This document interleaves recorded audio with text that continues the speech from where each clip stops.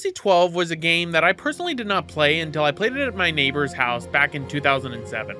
Its concepts didn't really click with me, since the only other Final Fantasy games I had at the time that I had completed were Final Fantasy X, X2, and Dirge of Cerberus. Ironically enough, I thought that Final Fantasy X2 was actually Final Fantasy XII for the longest time because the Roman numerals were a concept that eluded my grasp. I remember not really liking Final Fantasy XII as much either because everything seemed too open for my liking, as back then I was more used to linearly structured games rather than completely open-ended games as Final Fantasy XII was. How ironic then that I can now say that as of 2020, Final Fantasy XII and its remake, The Zodiac Age, are my favorite numbered entries of the Final Fantasy series. So what changed from my initial play throughout my neighbor's house?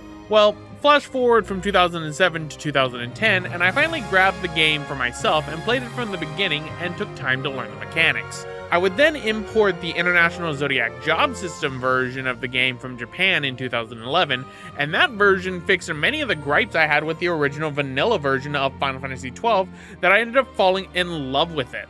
Story wise, I love Final Fantasy XII despite all of its variations. But gameplay wise, I guess I can say I can really only love the International and Zodiac Age versions, as I doubt I will ever go back to vanilla Final Fantasy XII again. The gameplay tweaks, balances, and additions in those versions just make them the de facto best versions of Final Fantasy XII and unlike, say, Sonic Adventure on the Sega Dreamcast, which has merits to being played over the DX version for some, Final Fantasy XII's vanilla game has no real merits to being played over the International or Zodiac Age versions, I find. But for some background on Final Fantasy XII, the game was created and developed by Square Enix, initially announced in 2004 at E3 2004 to be released for 2005 for the PlayStation 2. Only, the game was delayed into 2006, marking it to being one of the tail end 6th generation games released for the PlayStation 2 by a major company.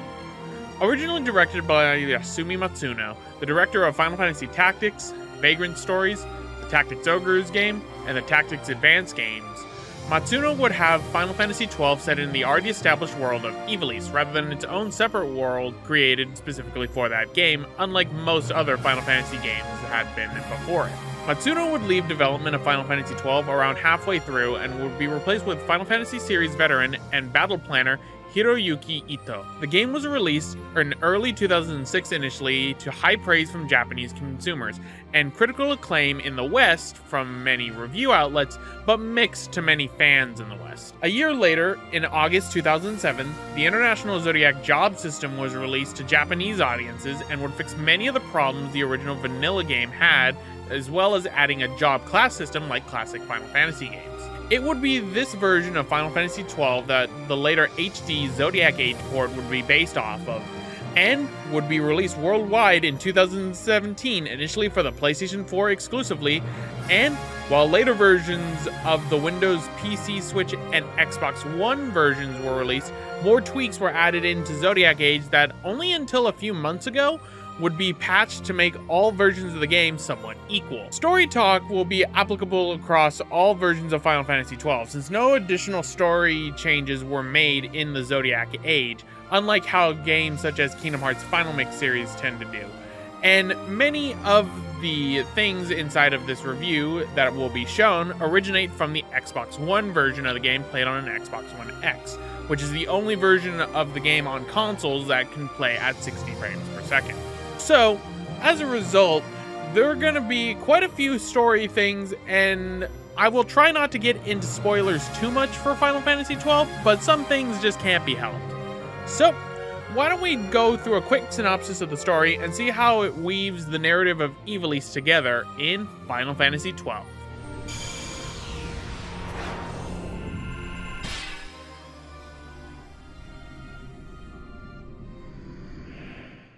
Yasumi Matsuno's original scenario for Final Fantasy XII was pretty much mostly used for the final version of the game. Heavily inspired by the original Star Wars trilogy, episodes 4, 5, and 6 respectively, Matsuno crafted the world of Ivalice as being on the brink of world war between two massive empires, the Empire of Archades to the north and Rozarria to the south, with smaller kingdoms such as the initial setting of Dalmasca and the Kingdom of Nabradia being caught in between the two empires. After the Archadian Empire swallows up Dalmasca's neighboring kingdom of Nabradia, a treaty between Dalmasca and Archades, King Raminas, and King Ramus is set to be signed. From there, we take control of our first character of the game, Reks, who is part of a squad that is set to protect King Raminas when it turns out that the Archadian Empire had set up this treaty meeting at Nabradia in order to kill King Raminas and take full control over Dalmasca. After being supposedly betrayed by his captain, Captain Basch fon Ronsenburg of Dalmasca, King Raminas was slain, and thus Reks was returned to Dalmasca as a traitor and later dies from a combination of wounds from battle and a broken spirit. From there, time passes and we take control of Vaan, Reks's younger brother who acts as the main character of the story, but not as the main character at the same time. See, Vaan is a character that the main story does not revolve around, but a character that the main story happens around them. Through Vaan, we are able to see the actions and the events that play out through Final Fantasy XII, while not really having his input too often within the game. As a result, this has led to a common misconception that even I believed for the longest time, in that Vaan and his friend Penelo were added into the story late into development, which is why they don't have much interactions with the rest of the characters or story events. However, it turns out that's not the case, as Vaan and Penelo were intended to be part of the story from the beginning, although their personalities and characteristics were changed throughout the course of development to better match more tropes that many of the fans of Final Fantasy in Japan would be appealing to at the time. In the background, while the player controls Vaan throughout the Dalmascan capital of Rabanastre, Vaan eventually hatches a plan to break into the royal palace during a fete to honor the new Dalmascan consul, Vayne Solidor, one of the Archadian Empire's crown princes.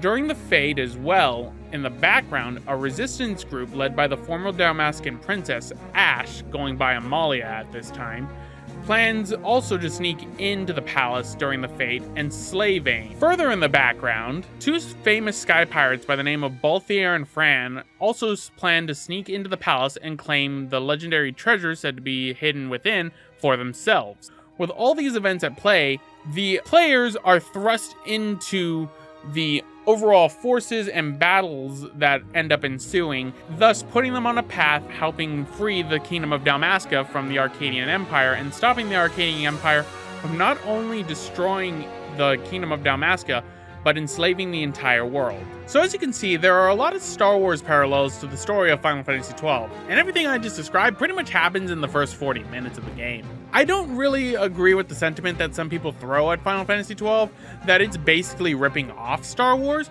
because it does a lot of things on its own and in its very own unique ways, and at the same time, you have to remember, Yasumi Matsuno was highly inspired by the original Star Wars trilogy, so a lot of these parallels were on purpose to help the player and to help the audience realize, hey, I recognize this sort of story before. And hey, overall, if you're going to end up copying a story format style, might as well go with one of the most successful franchises in history. Well, recent history. When it comes to the villains of the game, Vayne isn't really like past Final Fantasy villains as much. You see, Vayne's a lot calmer, he's more collected, he's more planning, he's a more of a military genius. As a result, you wonder why Vayne became this way, and you can get that through the context clues the game ends up giving you based on his upbringing. Was that Vayne was forced to put his own brothers to death by his father for betraying the Empire. We're never told what exactly this betrayal was. We're never told exactly what this effect had on Vayne. Vayne, therefore, as an overall antagonistic force, is present throughout the story based on his strings, but is not one that actively acts himself until the end of the game. And that's something that I think in a political intrigue story such as this really pays attention and really helps out. I'm reminded of Emperor Palpatine back when he was a senator for Naboo and how he manipulated the Republic into eventually giving him supreme power. Next, there's the character of Dr. Cid, which also marked the first time that the recurring Final Fantasy character of Cid had been in an active villain role. Because while Dr. Cid seems like a babbling mad scientist throughout most of the game, it ends up getting revealed that that's not entirely the case. Cid isn't babbling insanity he's actually talking to somebody that we don't see because the way the game portrays itself, we won't see this individual until later. And as a result, Dr. Cid pairs well with Vayne because they're both ruthless and clever in their own ways, but have different overt personalities that make them stand out, but also don't crush each other with their presence. They're very much a good collaborating force of antagonists together, one acting out, one pulling from the shadows. Finally, there's Gabranth, Basch fon Ronsenburg's twin brother, who was the actual killer of King Raminas in the beginning of the game, who framed Basch for the Empire to give them control. Gabranth is highly loyal to a fault, and over the course of the game, wishes to understand how his brother, Basch, who seems to have lost everything more than once, goes on with his life and furthers himself, despite the fact that the more Gabranth follows what he believes is right, turns out to put him more and more in despair and put his honor at risk. It's these three antagonists as a whole that help make the story of Final Fantasy XII weave together so well with the rest of the main cast. As for the main characters themselves, their cutscenes of their interactions with each other always make for a good time, and you can see over the course of the journey across Ivalice how it changes them and their motivations throughout the story. To use Vaan as an example again, at the beginning of the story, he is portrayed as an overt, annoying, naive child who really doesn't know about the world around him, but by the end of the venture, he comes into his own and is matured into the sky pirate he's always dreamed of being.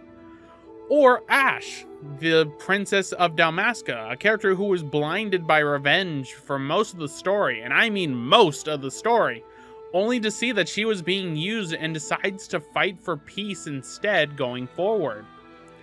All the characters in Final Fantasy XII's story are portrayed as believable and evolve over the course of the story, which is something I love in games in general, and when it's a highly narrative game like this, it makes me care about the characters even more than I already did. While most of the story hits well for me, I cannot deny that the ending is rather rushed when dealing with certain elements of the story, and certain plot threads that I would have loved to be explored go unexplored, which is rather a shame. I do understand why some of these plot threads had not been explored though, and that was because Final Fantasy XII as a whole is already a very big game, and you don't want to have it feel too bloated with story elements for its own good.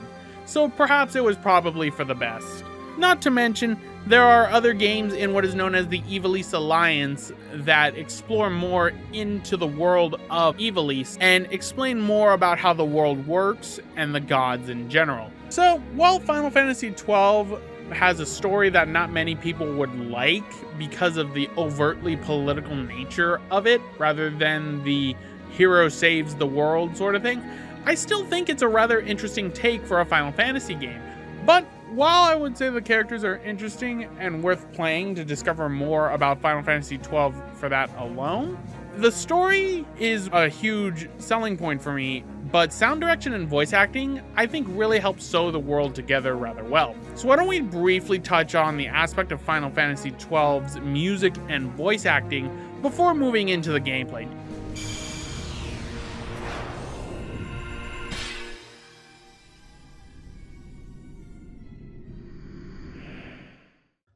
Fantasy XII overall had made very interesting choices for the voice casts in the game. So, part of the reason for this is due to the fact that the decision from the English localization team for Final Fantasy XII was to hire voice actors with theater experience and who could do flat readings of the script while also using different dialects of English to do variation throughout the world of Ivalice as well as variation throughout the English language. And this is a decision I very much like because it shows how big the world is that even though you speak the same language, the end result could be different because of different dialects.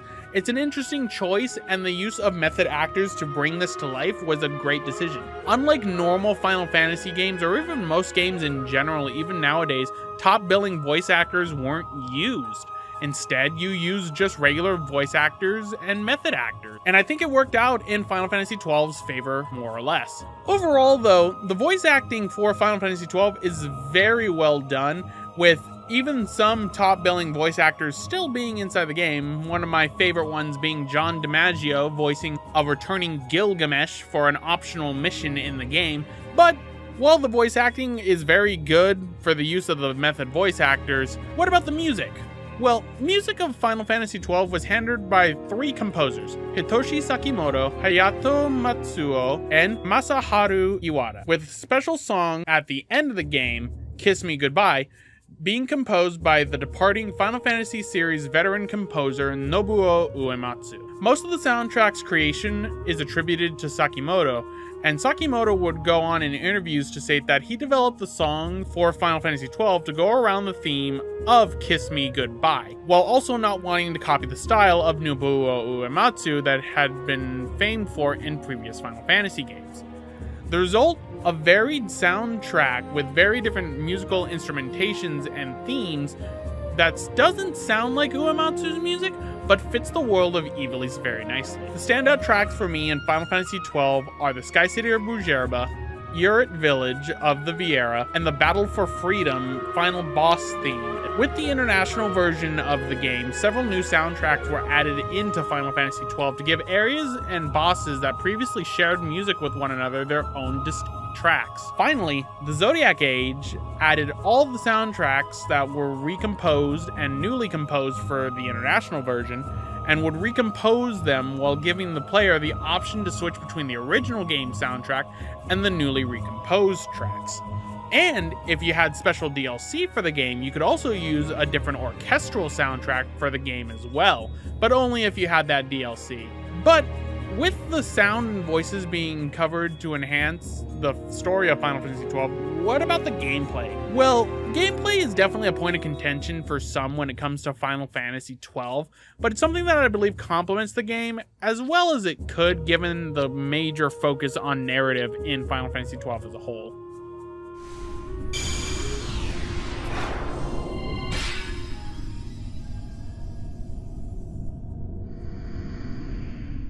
Alright, so gameplay for Final Fantasy XII is a mixed bag. It has a lot of different styles, a lot of different things to go over, so we're gonna go over them somewhat in a bullet point order, so to speak. In terms of gameplay, Final Fantasy XII has major different styles, but also some things that are familiar from other ones. Gone is the active time battle system previous Final Fantasies such as 9, which Hiroyuki Ito had previously directed beforehand.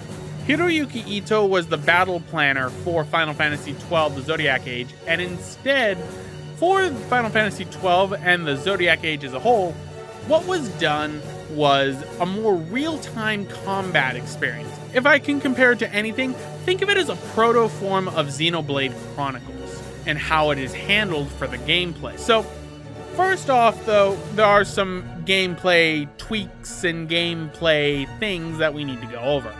The first of which is the license board system. Originally, in Final Fantasy XII, there was one license board shared between all characters. Killing enemies would get you a certain amount of license points that you can use to spend on the license board. For the license board, once you spent those points, you can gain abilities to use certain equipment, spells, or techniques. It's sort of like the sphere grid from Final Fantasy X, but in this instance you need to buy or find the spells, abilities, or equipment at shops or in treasure chests yourself, while also having to buy the license points to use them. So, it was not very well received, and as a result, the license board system was changed in Final Fantasy XII International to instead being split into 12 different boards, each representing a zodiac sign and a job class like a classic Final Fantasy character that the player was stuck with throughout the entire game. But one more tweak came in the form of Zodiac Age, thus making Zodiac Age the definitive version of the game, in which you had the ability to dual job class, where after you reached a certain point in the story, you would be able to use two job boards at the same time. Any two boards you want, so long as it's not the same board that you already have. You could be a Holy Knight, you could be a white mage and a machinist. You could be a time battle mage and an Uhlan. All of these would go together, and one other addition that was made into later versions of Zodiac Age was the ability to change the license board at any time you want through Clan Centurio, thus making it that Final Fantasy XII is an entirely customizable game. Only took them until the Zodiac Age to be able to do that, but it did come with some cost. The game was never balanced with the dual job classing in mind or the ability to change job classes at will in mind, and as a result, you can end up breaking Final Fantasy XII The Zodiac Age in two. But if you're like me and like doing things like that, then this is all more of a plus to you. Next is probably the biggest point of contention that many people hold against Final Fantasy XII, and that is the Gambit system. A system that allows the player to set up certain commands to be auto-conducted by the character that they are set for, so then the player doesn't need to micromanage every aspect of battle. Things as simple as when my health gets lower than 60%, cast a healing spell. When my character doesn't have a scan ability, cast Libra. Things such as that. The biggest criticism thrown at the Gambit system, though, is that the game ends up playing itself as a result. And while that is true to a degree, the gambits can be turned off and or ignored by the player if the player so wishes. Furthermore, in Zodiac Age in the international version, you can turn off the gambits of guest party members as well as turn off the gambits of summons, so then you don't have to worry about your summons or guest party members screwing you over. I can't tell you how many times that happened to me in the original Final Fantasy XII. But also added into Zodiac Age was the ability for players to set up multiple types of gambit. Overall, though, relying on gambits can help you with certain encounters, but with how enemies end up changing their battle planning and how enemies can end up changing overall throughout the course of the battle, you can't always rely on the same gambit setup for every encounter. Because next thing you know, you're healing an enemy that you didn't mean to heal, and then you're in a whole world of trouble. Also changed from Final Fantasy X was how encounters are handled. See, Final Fantasy XII does not do random battles like previous Final Fantasy games, and instead opts for an open world where the enemies are visible and are on screen already, and the player therefore has to choose whether to battle that foe or not. You can always tell which enemy is going to be stronger than you based on the color of their name or based on if you have a scan ability, such as Libra, if they are stronger than you and if they are going to wreck your ever loving shit. The omission of random battles is something I greatly appreciate, as one thing that really annoyed me in Final Fantasy X was how frequent random battles were in the game. And if you didn't have a no encounter ability item equipped, then it was ridiculous. Now, another change from Final Fantasy X is how the party level and how the party are structured. See, you have regular levels in the game, like always, but you can only have three party members at a time, usually sometimes with a fourth guest party member out on the field as well. You can end up switching out all party members except for one whenever you so wish, and that player will get more experience for that character. But it comes at the risk of if that character dies, you have to revive them and bring another character out to battle. Luckily, unlike Final Fantasy X though, where if you end up losing all three of your party members inside of a battle, you don't instantly game over. The game doesn't turn to game over until all your playable characters are defeated. So you can go in the middle of battle and you can end up changing out characters whenever you want, so long as they're not being targeted. This is very helpful in staying alive, and is one thing I really didn't like about Final Fantasy X when three of my characters died, and I have three more in reserve, but I can't use them because the three characters' bodies are on the floor in the first place. Then there's the different types of attacks in the game. For regular attacks, we have physical attacks, magic attacks, which are separated into different classes of magic, and techniques, as well as the mist commands. For physical attacks, there's a wide variety of weapons in the game, with each weapon being attributed to certain classes for the Zodiac Age and international versions of the game. You have rods, poles, lances, guns, swords, great swords, ninja swords, daggers, hand bombs, spears, bows, crossbows, scales, measures, maces, axes, and a whole wide variety of more. You also have shields, heavy armors, light armors, mystic armors, the list goes on. For magics, you have white magic for healing, black magic for offensive spells, time or green magic for buffs and debuffs, and arcane magic for dark magics. Techniques range from something simple like steal to being able to cast a random black magic spell or hit flying enemies with ground weapons. Finally, we have the mist commands, which have two categories Quickenings, which are super moves specific to each character, with three tiers that can be purchased in the license board, or Espers, which are summons unlocked through the license board after defeating an Esper in battle.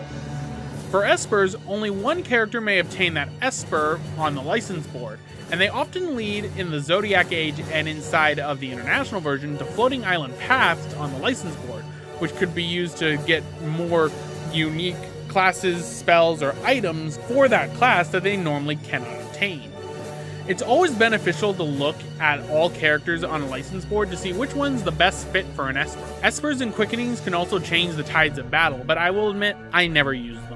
The mist command is something I rarely ever use, unless I'm going for specific achievements or hope to cheese a boss I really don't want to deal with. In the original Final Fantasy XII, mist commands were tied to one's MP bar, which made this a whole lot more detrimental and dangerous if a player decided to use a quickening or a summon and it didn't kill the enemy in question, because now you'd be out of MP and you have no way of casting spells or you have no way of ending up casting more quickenings or summons until your magic meter fully fills back up. But as of Zodiac Age and the international version, a separate bar was made for quickenings and summons to make it easier for the player to have access to magic. So once you use a quickening or summon, you can just end up waiting for that bar to recharge. Usually it recharges by dealing damage to an enemy and then you can use the mist commands again while still using your regular magic, something that is greatly appreciated and something I don't understand why was not in the original. You know what else was not in the original game? The damage limit. You see, in Final Fantasy XII, a lot of enemies have a lot of health. I'm looking at you, Yiazmat, with your 50 million HP. In the original Final Fantasy XII, there was a damage limit to how much damage a character could do, that damage being 9,999. This is terrible for vanilla Final Fantasy XII because enemies gain tens of thousands to later millions of HP for certain specific bosses. And the fact that you could only do 9,999 damage with no way of breaking the limit was horrible. Not even summons could break the limit. This was changed inside of Final Fantasy XII International and the Zodiac Age to having no damage limit.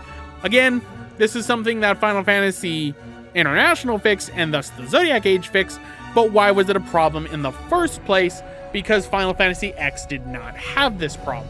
Overall, though, the gameplay for Final Fantasy XII is mixed in with offline MMO elements, which, given how successful Final Fantasy XI was, makes sense that Final Fantasy XII would go through that and experiment with something similar to Phantasy Star Online. Combine the gameplay with explorable and populated cities containing many different side quests, hunting side quests that you take on certain rogue and special monsters, and a bestiary that can be filled up to give the player more history of the world around them. And you've got a game that completing 100% can be daunting and will take you a while. Heck, for my playthrough on my channel, Final Fantasy XII The Zodiac Age has become the longest playthrough in my entire Let's Play history and has taken me over 100 hours to complete. And even then, I don't fully have 100 true 100% because I don't have every single one of the weapons. My license boards are filled out, I have all summons, I have all achievements, and if I were playing on the PlayStation 4 version, I'd have the Platinum Trophy. But I don't have true 100% and I don't feel like going for that because some of the spawn rates are abysmal in Final Fantasy XII.